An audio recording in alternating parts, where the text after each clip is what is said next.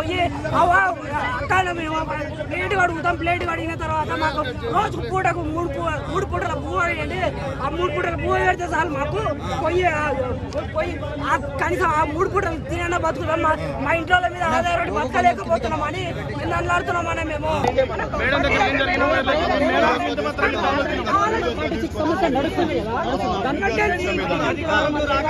ఇప్పుడు మేము ఇక్కడికి వచ్చింది కుమారి ఆంటీకి వింత పత్రాలు ఇవ్వడానికి వచ్చినాం. ఆంటీకి మీ మీలాంటి కొడుకులం మీరైనా ఒక మాట మా గురించి మాట్లాడితే గవర్నమెంట్ వింటుంది. మేము ఎవరు మాట్లాడిన వినట్లేదు. దయచేసి గవర్నమెంట్ మీరన్నా వినండి అని చెప్పి ఆ కుమారి ఆంటీ మేడం గారికి మా తల్లితో సమానమైన అమ్మాయికి వింత పత్రాలు ఇచ్చి మా వేడుకను అమ్మాయి నువ్వన్న మా గురించి ఒక్క మాట మాట్లాడమ్మా.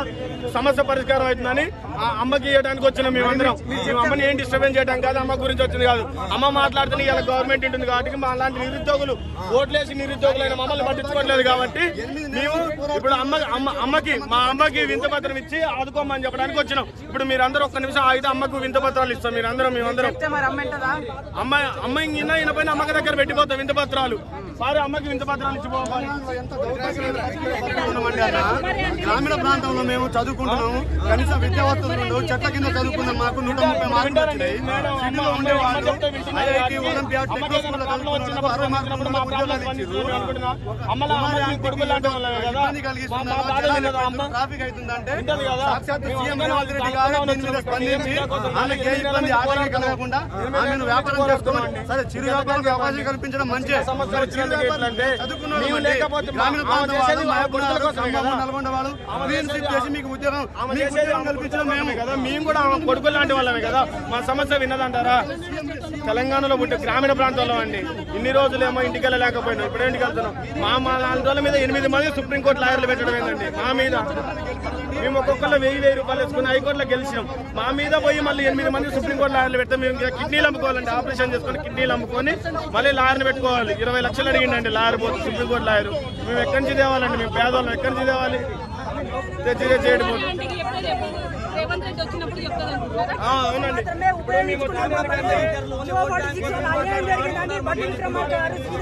సీఎం రేవంత్ రెడ్డి గారు వస్తానని చెప్పారు.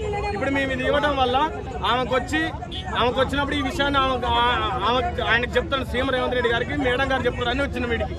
అది ఇన్ఫర్మేషన్ ఉందా? వస్తారని.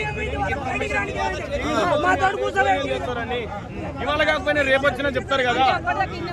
అప్పటిదాకా ఇన్నే ఎందుకుంటాం చెప్ప ఇంకా హైదరాబాద్లో వస్తున్నాం దిల్సునగర్ ఏరియాలో గుళ్ళ అమ్మటి ఐదు రూపాయల భోజనం అంటే సాయిబాబా టెంపుల్ మధ్యాహ్నం భోజనాలు తిరిగి కూడా బతుకుతున్నాం ఒక్కసారి ఇస్తామండి మేడం.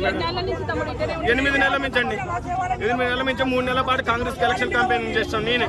నా వీడియోలన్నీ చూడండి. కొత్త ఆకాశాన్ని ఆకాశ్ జియో పార్టీ అని యూట్యూబ్ మొత్తం నా కాంగ్రెస్ పార్టీకి నేను నిరుద్యోగ చైతన్య బస్సు యాత్ర నడిపించాను నేను. ఇవాళ నా మాట నన్నే ట్రోల్ చేస్తారు నేను ఇవాళ వాళ్ళ కోసం చావాలా? లేదనేది నన్ను అర్థం కావట్లేదు. నీ మాట నమ్మినందుకు నా మీద కేసులు పెడతాం అంటారు వింటారా? అనుకుంటున్నాను ఇప్పుడు ఇస్తామని. ఏమన్నా ప్లేట్లు కడగడానికి వచ్చినాం మనం ప్లేట్లు కడగడానికి మన ప్లేట్లు కడగడానికి కనీసం మాకు తెలంగాణలో ఎట్లా జాబులు రావు?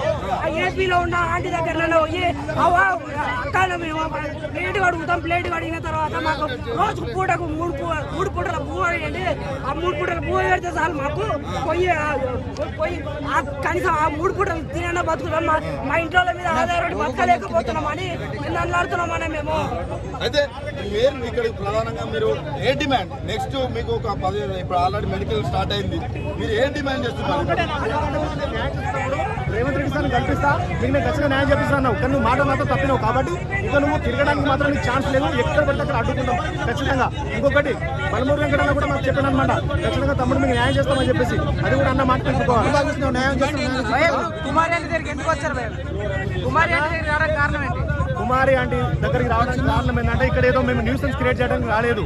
ఎందుకు అంటే తెలంగాణలో ఉన్న మేమంతా కూడా ఎనిమిది నెలల పాటు మేము తిరుగుతున్న మాకు అన్యాయం జరిగింది. జియో నెంబర్ పార్టీస్ వల్ల మాకు జాబ్ రాలేదు. ఎక్కువ మార్పు వచ్చిన గ్రామీణ ప్రాంతాలకు చాలా అన్యాయం జరిగింది. మాకు న్యాయం చేయండి సార్ అని చెప్పేసి ఎనిమిది నెలల పాటు తిరిగితే మాకు స్పందించలే రేవంత్ రెడ్డి సార్. అక్కడ ప్రజా దర్బార్కి వెళ్ళినామన్న. ప్రజా దర్బార్కి వెళ్ళి ఒక ముప్పై నలభై సార్లు అంటే ఒక కట్టల కట్ట విందు పత్రాలు ఇచ్చిన కూడా స్పందించలే. కానీ ఒకటే రోజు ఇక్కడ ట్రాఫిక్ సిగ్నల్ చాలా ట్రాఫిక్ ఇబ్బంది అని చెప్పేసి ట్వీట్ పెట్టగానే ఒక్క సింగిల్ ఏదో స్పందించిండు. మరి తెలంగాణలో జరుగుతుంది ఇంతటి అన్యాయాన్ని నువ్వు ఎనిమిది నెలల- ఎనిమిది నెలల పాటు చూస్తున్నావు. మళ్ళీ న్యాయం నీకు అన్యాయం కనిపించలేదా మాకెందుకు స్పందించలేదని చెప్పేసి అడగడానికి వచ్చినామన్నా మేము ఇక్కడికి? అన్న ఇప్పటికే దేవార్జున్ అని శ్రీకాంత్ అని హరిప్రసాద్ అని మా మిత్రులు చనిపోతున్నారన్న ఎందుకంటే వాళ్ళు తక్కువ మార్కులు వచ్చిన వాళ్ళు కాదు. నూట ఇరవై పైబడి మార్కులు వచ్చిన కూడా జాబ్ లేదు ఒక ఎనభై మార్కుల స్టూడెంట్కి ఉద్యోగం ఇచ్చి అదే సేమ్ క్యాస్ట్ సేమ్ క్యాడర్ ఉన్న పోస్ట్ని అదే క్యాండిడేట్ నూట ఇరవై మార్కులు వచ్చిన జాబ్ చేయకపోతే ఎవరైనా కూడా అదే పరిస్థితి చేస్తారు. అదే పని చేస్తారు కాబట్టి ఇంకా ముందు ముందు కూడా చాలా ఆత్మహత్యలు జరిగేటువంటి అవకాశాలు ఉన్నాయి. కాబట్టి తక్షణమే గవర్నమెంట్ దీని స్పందించి వెంటనే మా యొక్క ప్రాణాలు కాపాడాల్సిన బాధ్యత ఉందని చెప్పేసి మేము కోరుకుంటున్నాం అన్న